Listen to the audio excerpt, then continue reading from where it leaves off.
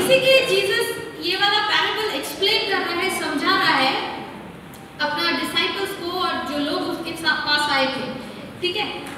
Sister you will read Matthew chapter thirty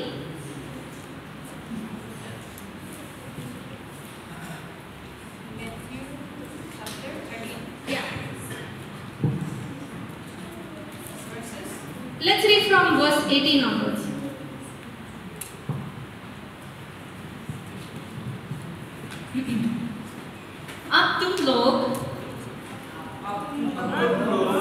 और एक बार अब तुम लोग बोने वाले का दृष्टांत सुनो यदि कोई राज्य का वचन सुनता है लेकिन समझता नहीं तब उसके मन में जो बोया गया है उसे शैतान आकर ले जाता है यह वो है जो रास्ते के किनारे बोया गया है प्रेज द लॉर्ड अभी हम लोग ये चार प्रकार का भी चार प्रकार का जो भूमि जो ज़मीन है उसके बारे में हम लोग सीख रहे हैं ठीक है ये चार प्रकार का जो भूमि है ये जीसस एग्ज़ाम्पल देता है लोगों को समझाने के लिए कि हम मनुष्य में हम लोग चार टाइप का लोग हैं ठीक है और ये चार टाइप का लोग जो है जब परमेश्वर का वचन को लेता है जब परमेश्वर का वचन इन लोगों को दिया जाता है तो ये चार लोग, चार प्रकार के जो ये लोग हैं, वो लोग कैसा रिस्पॉन्ड करते हैं? वो लोग कैसा परमेश्वर का वचन को रिसीव करते हैं, वो बता रहा है। और ये चार कैटेगरी जो हम लोगों को आज, हम लोगों को आज जीसस सिखा रहा है, हम लोगों को ये देखना है, हम लोग ये चार कैटेगरी में से कौन सा कैटेगरी में आता है? ठीक है?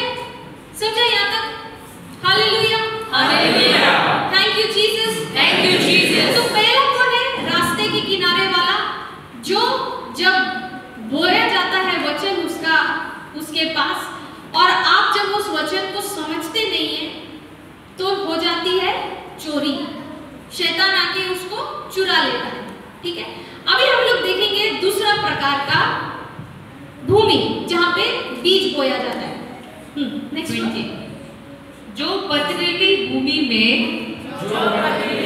फिर से फिर से फिर से। जो पथरीली भूमि में बोया गया है यह वो है जो वचन सुनते ही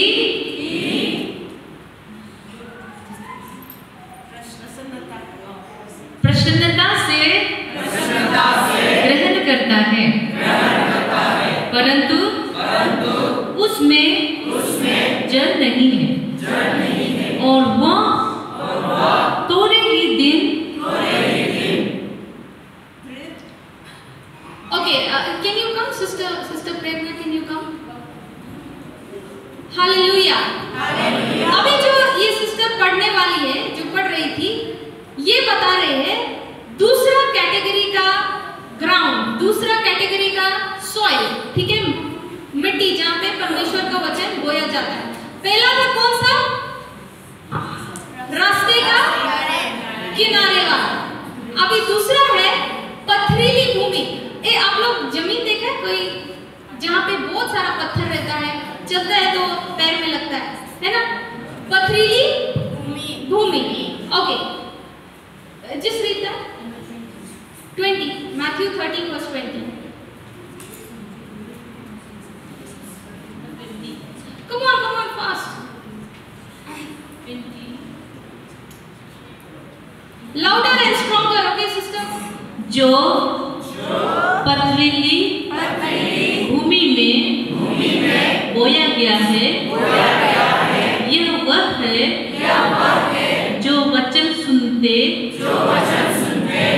वचन सुनते ही प्रसन्नता से ग्रहण करता है। अभी दूसरा कैटेगरी कौन सा है?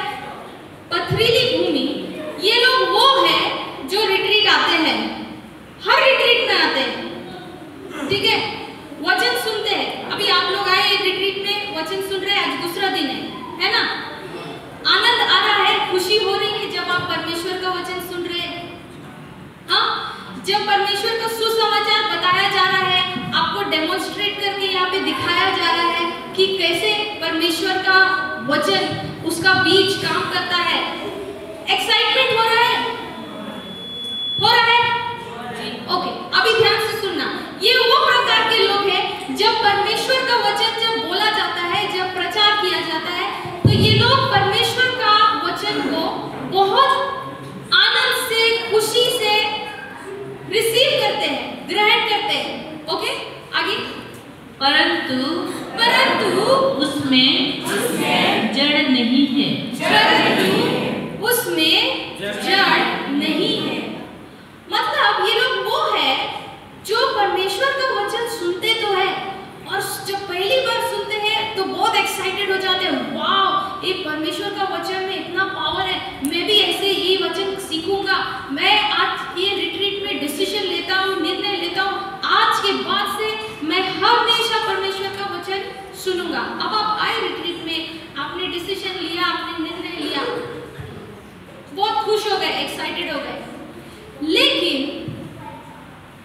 आप में इस वचन के लिए जड़ नहीं आगे बढ़े और वह थोड़े ही दिन दृढ़ रहता है। पॉज पॉज वो थोड़े ही दिन क्या रहता है?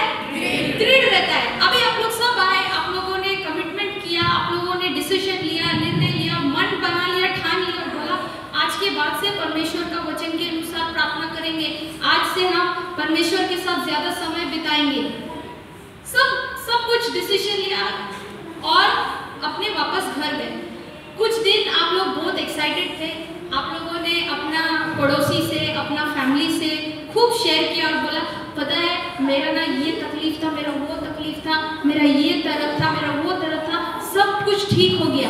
हम तो बहुत एक्साइटेड है कि परमेश्वर का वचन कितना अच्छा काम करता है, कितना अच्छा रहा, दोनों दिन रिट्रीट अटेंड किया। लेकिन ये खुशी और ये कमिटमेंट ये थोड़ा दिन रहता है। ओके ओके एक उदाहरण देती हूँ मान लो मेरे पास में एक दो गमला है। गमला मालूम है? जिसमें पौधा लगाता है। गमला बोलता है ना? आपका अरुणाचल है? Flower pot. हाँ ओके अभी मान लो वो दो मेरे पास में गमला रखा है। ठीक है? उसमें है मट्टी और मैंने मैंने उन दोनों गमलों में सॉइल मट्टी को भरा है ठीक है और मैंने उसमें कुछ पौधा लगाया है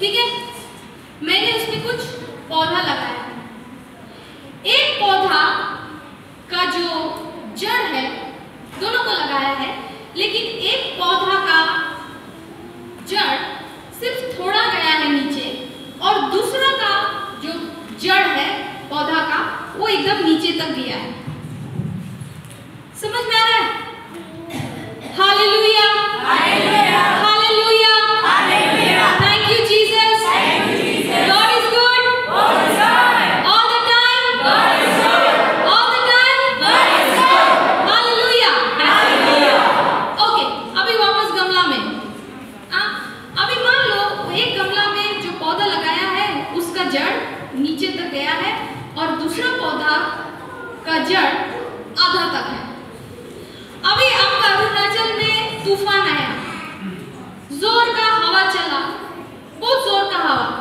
तो आपको ये दोनों गमला में से कौन सा गमला लगता है कौन सा पौधा जल्दी उखड़ेगा जिसमें जिसमें जड़ कम है कमज़ोर है। अंदर तक नहीं गया। जिसमें अंदर तक जड़ नहीं गया। तो मतलब एक हवा का झोंका आया और जिस जड़ का पहुँच अंदर तक नहीं था वो क्या हुआ? एक हवा में जड़ से उखड़ गया। हालेलुया ये इतना सारा पेड़ पौधा आप लोग देखते हैं ना माउंटेन्स में ये सब अपना अपना जगह में खड़ा है जी खड़ा है गिरा है अपने जगह से? आंधी आया, तूफ़ान आया, कुछ गिरा? नहीं गिरा। क्यों? क्योंकि इसका जड़ अंदर तक है। उसी तरह से जब कोई व्यक्ति परमेश्वर का वचन को सुनता है और उसको समझता है, उसको रिसीव करता है, ठीक है और इस जर्नी में जब आप ले रहे हैं वचन को अब आता है तकलीफ़ जरा पढ़िए उसको फिर से 20 and 21 जो पथरीली भूमि में बोया गया है बोया गया है ये वह है यह वह है जो वचन जो वचन सुनते ही सुनते ही प्रसन्नता से प्रसन्नता से ग्रहण करता है परंतु उसमें जड़ नहीं है और वह थोड़े ही दिन दृढ़ रहता है। वह थोड़े ही दिन क्या रहता है? वह थोड़े ही दिन दृढ़ रहता है मतलब वो थोड़े ही दिन टिका रहता है। वो अपना डिसीज़न पे, वो थोड़े ही दिन वो कंटिन्यू करता है प्रार्थना करना वचन के अनुसार। वो थोड़ा ही दिन सुनना चालू करता है परमेश्वर का वचन को। लेकिन उसके बाद वो डगमगाने लगता है क्या होने लगता है डगमगाने लगता है। कभी आप लोगों के साथ में ऐसे हुआ? आप आए चर्च आपने परमेश्वर का वचन को सुना? आपको बहुत पश्चाताप हुआ? पश्चाताप मतलब? रिपेंट आप लोगों ने रिपेंट किया। आप लोगों को लगा, अरे, मैं जो कर रहा हूँ वो सही नहीं है। तो प्रभु मेरे से कितना प्यार करता है। मेरे को बदलना है। मेरे को ये चेंज करना है। आप लोग वो डिसीज़न लेके घर जाते हैं। दो दिन अड़े हुए हैं।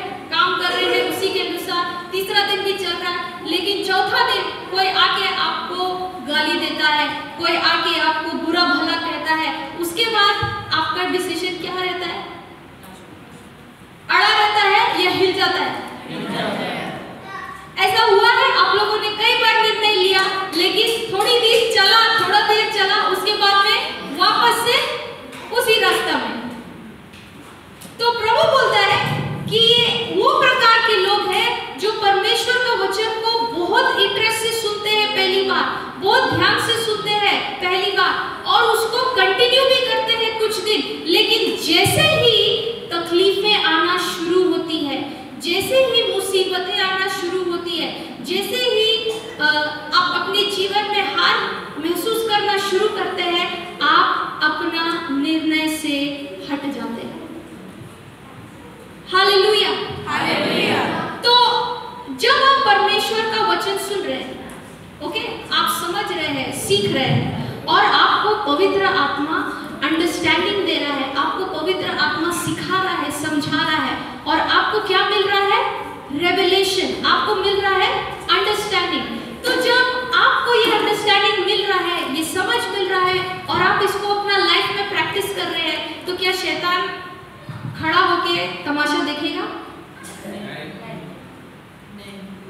वो देखेगा तमाशा खड़ा होके? वो आएगा आपको अटैक करने?